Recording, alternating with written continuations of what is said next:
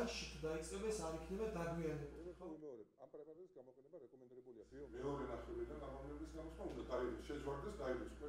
არ არის საჭირო დაუშვათ. პლანტაციის ძლიერ ეს ამას წლები წლები საჭირო იქ ჩავარდებით ქიმიური წამოვლები. პოსტნეულის მოვლა არ არის ფული და იქ ეს უნდა გააკეთოს თვითონ მოსახლეობა. მოსახლეობა ერთ-ერთი 100 გრამი 600 გრამი მიდის 1 ჰექტარზე. აზიური ფაროსანას წინამდე იყო და არის შარშან დარეგისტრირებული თურქული პრეპარატი, წელს დარეგისტრირდა ქართული პრეპარატი, თუმცა შემადგენლობა ერთნაირია, ბოვერია ბასიან არის სოკო. კიდევ ერთხელ მინდა გავიმეორო, რომ ბიოლოგიური პრეპარატების შედარებით ქიმიურ პრეპარატებთან ნაკლები ეფექტურობა აქვს.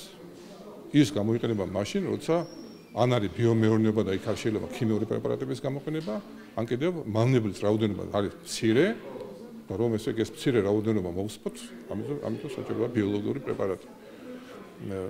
და ბიოლოგიური პრეპარატების გამოყენება ხდება ინტეგრირებულად, ეს არის ინტეგრირებული მცენარეთა დაცვა, სადაც ყველა მეთოდი არის გამოყენებული: ქიმიური, ბიოლოგიური, მექანიკური და ასე შემდეგ. ასე რომ მხოლოდ ამ მხოლოდ აქცენტის აღება ბიოლოგიური პრეპარატებზე არ შეიძლება გვაქვს ამერიკელების და სხვა ევროპელი სპეციალისტების ასე ვთქვათ გამოცდილება და შედარებით დაბალია ეფექტურობა, ასე იგი ქიმიურთან შედარებით.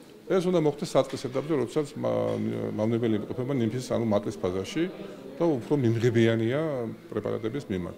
თუ ამას ადამიანი გააკეთებს, ესე იგი თავის საკარმიდო მონაკვეთში რამოდენიმეჯერ გამოიყენებს, ალბათ სასურველ შედეგს მიაღწევს. ყველა პრეპარატი, დიახ, ყველა პრეპარატი რეგისტრირდება საქართველოსში მოქმედი ნორმატიული ესე იგი ბაზის შესაბამისად.